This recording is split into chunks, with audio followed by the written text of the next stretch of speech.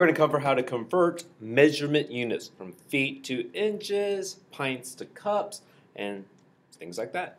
So, uh, let's go over what we learned in our previous lesson over proportion, which is what? What are proportion? Equivalent ratios when you have, or fractions, when you have two fractions or ratios that are equivalent. Um, so they equal the same thing. For example, the ratio of boys to girls is 2 to 3. There are 1,200 students at McMeans Junior High. How many boys attend McMeans Junior High? So the question is asking about how many boys attend this school, and there are 1,200 students. So it's about, our ratio will be about boys and students.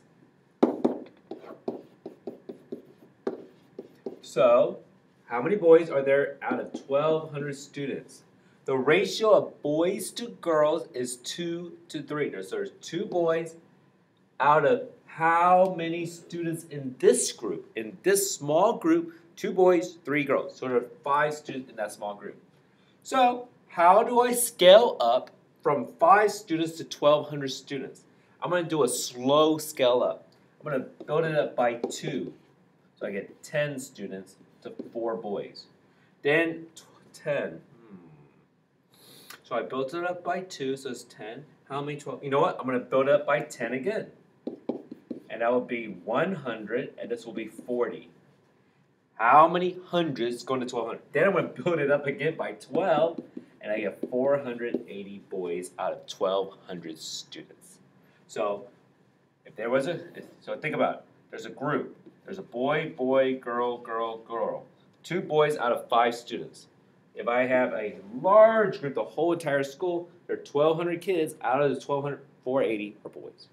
So again, proportions, you have two equivalent ratios or two equivalent fractions. 2 fifths is equivalent to 480 over 1200. So this is a graph about something, about length in inches and length in feet.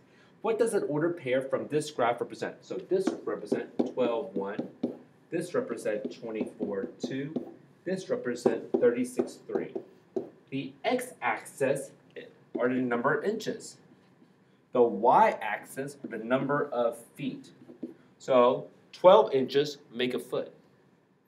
Are there 24 inches in two feet? There are. Think of two rulers. One ruler is a foot at 12 inches. You have two rulers, two feet, 24 inches. So write the rate as a unit rate. Again, a unit rate is when the denominator is 1. So 12 inches, 1 foot. Explain how could you use the graph to determine the length in inches of a 2.5 foot iguana. Let's see, here's feet. 2.5 go right here. Follow the line and go down. So it is 30 inches. An iguana is 30 inches. So what do you know about inches of feet? Each one of you will be given a measurement chart, a sixth grade mathematics chart. I think it's going to be the color pink or yellow. I haven't decided on how I'm going to print it up. So, what do you know about inches of feet? I know there are 12 inches in one foot. What do you know about fluid ounces and cups? So look at your mathematics charts when you get it. Uh, look for, uh, I think it's under customary, under uh, capacity. One cup has 12 fluid ounces. No, I'm so sorry. One cup has 8 fluid ounces. So, I'm sorry. Again, oh, this is it. This is a relationship. But we we are going to try to write this as a unit rate. There are eight. There are eight fluid ounces in one cup. They mean the exact same thing, but I'm going to try to write it as a unit rate to be in the habit of doing that. So every cup, I will have 8 fluid ounces. To convert measurement units, the conversions can be written as unit rates. For example, one mile has 5,280 feet. You can use the unit rate of 5,280 feet per mile or 5,280 feet for every one mile to convert feet to mile. So let's the average weight of a baby at birth is seven pounds. How many ounces is the average weight of a baby? Uh, so we want to know how many ounces is this baby? I'm going to use unit rate. So looking at your sixth grade mathematics chart, which you will be able to use on STAAR test. So please don't sit there and memorize them. I don't really memorize. Well, actually, I have. I do memorize. I have memorized it because I've been teaching this for years now. So there are 16 ounces for every one pound. If you have a one pound bag of flour, it weighs 16 ounces. So where would you label seven pounds? I'm going to put it right here. So how do I scale forward from one pound to seven pound? I multiply by seven. Multiply by seven. So 16 ounces times 7, 42, carry the 4, that's 7, 8, 9, 10, 11. 112 ounces is the same or equivalent as a pound. Some of you may not like using ratio tables. I do, I love it. But some of you may want to rather do proportions. So let's do this one. There are 16 ounces to 1 pound. 7 pound. How do you build up from 1 pound to 7 pound? Times 7, 112. Next one. The tunnel is 2 and 3 4 kilometers long, or kilometers long. How many meters is this? If you look at your sixth grade mathematics chart, it says meters, kilometer. There are 1,000 meters for every one kilometer. So 2 and 3 4 kilometer goes here. How do I build up from 1 to 2 and 3 4? I multiply by 2 and 3 4. So what is 1,000 times 2 and 3 4? Several ways you can do it. You can first of all multiply 1,000 times 2 and get 2,000. And then do 3 4 times a 1,000 and get 750. So together is 2750. Or you can turn this into an improper fraction, which is 11 4 times 1,000. You have 1,000 groups of 11 fourth. If you have 1,000 groups of 11 fourth, that's 11,000 fourths. Guess why? turn that to a fraction, you multiply across. How many fours go into 11,000? Because you have 11,000, you are dividing it into fours. So 4 goes to 1, 0 times. 4 goes to 11, 2 times. That's 3. Bring down to 0. How many 4s goes to 30? 7 times. Uh, still have remainders. Bring down to 0. How many 4s go to 25 times? Bring down to 0. How many 4s go to 0? 0. So it's 2,750 meters is equivalent to 2 and 3 4 kilometers. A recipe for ice cream calls for 1.6 1 and 70 65 hundredths liters of milk. How many milliliters of milk are in the recipe? So 1 liter. Let's write it as a unit rate. If you look at your mathematic chart, it says something about milliliters, which is 1,000, 1 liter. So I'll put 1.65 down here. How do I build up from 1 to 1.65? I multiply, I scale forward by 1 and 65 hundredths. So 1,000 times 1 and 65. I could line up the, I could line it up. I'm not going to line up for this one because then I have so many zeros here. So I'm just going to multiply as I see it. 0, 0, 0, 5, 0, 0, 0, 6, 0, 0, 0, 1. Do you see how I put one placeholder here and I put a double placeholder here?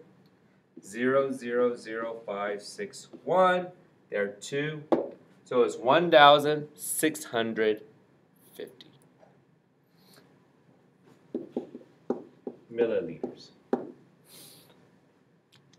The track surrounding a football field is one fourth mile long. How many yards long is the track? So if you look at your stuff, uh, let's see, it's about mile and yard. There are 1,760 yards for every one mile. So one fourth mile goes here. So I am breaking it down. What do I multiply 1 by to get one fourth? I'm multiplying it by a fourth. Another way to say it is if you're multiplying by fourth, you're really dividing by 4 because 1 divided by 4 would be 1 fourth. So you could multiply by a fourth, or you can divide by a fourth, whatever is easier for you. So 1,760 groups of 1 fourth. That's 1,760 divided by 4. It's multiplied by 4, it really means divided by 4. 4 goes to 1 0 times. 4 4 goes 17 four times. 4 goes 16 four times. So it's 440 yards for every one fourth mile. Ralph served a, oh, we're not going to do that one. Paul ran one and a half kilometers. How many centimeters did he run? So, if you look at your mathematics chart, it's kilometers and cent. No, I'm sorry. You're not going to see kilometers and centimeters on there. The closest I see to it is kilometers and meters. There are 1,000 meters for every one uh, kilometer. No worries. We're going to do a double ratio table. So from a 1 kilometer to 1.5 kilometer. How do you build up from 1 to 1.5? You multiply by 1 and 1 half. So 1,000 times 1 and 1 half. Let's think about it. A thousand times one is a thousand. A thousand times a half is 500.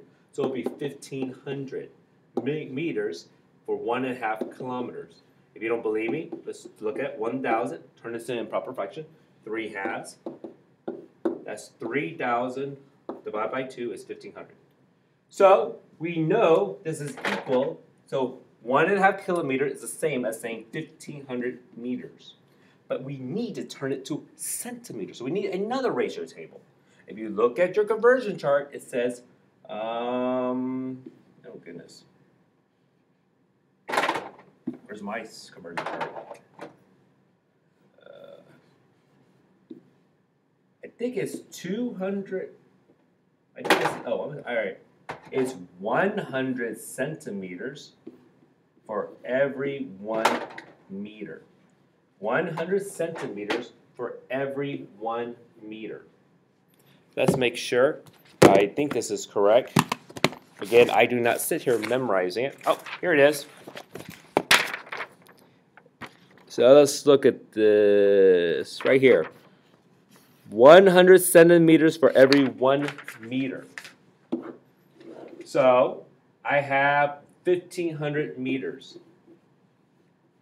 How do I build up from 1 to 1500? I multiply by 1500. Multiply by 1500.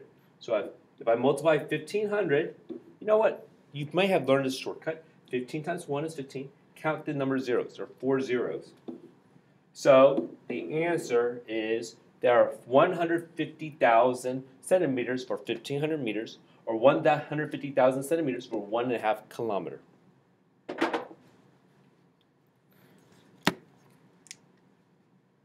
All right, we're going to try one more question. It's not listed here, but I still want to go over it. Um, let's do a question about one with volume and capacity because I want to practice with double ratio tables.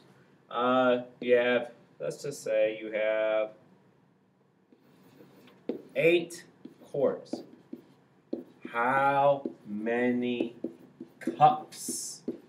So if you look at your look at your chart, quarts. The only thing I see about quarts is one quart equals two pints. I don't see any quarts in cups, but it's okay. We can do a double ratio or double proportion. So let's write as the unit rate. Pints and quarts. They are two pints for every one quart. Two pints per quart. If I have eight quarts, how do I build it up? By eight, by eight. So there are 16 pints for 8 quarts. Taking what I got from here, 16 pints, I can now turn it into cups. Looking again, there are cups, pint. There are two cups for every one pint. How do I build up from one pint to 16? I multiply by a scale of 16 and I get 32 cups. So 32 cups is the same as saying 16 pints, which is the same as saying 8 quarts. so if you don't see on here, sometimes you will have to do a double ratio table. So this is how to convert measurement units.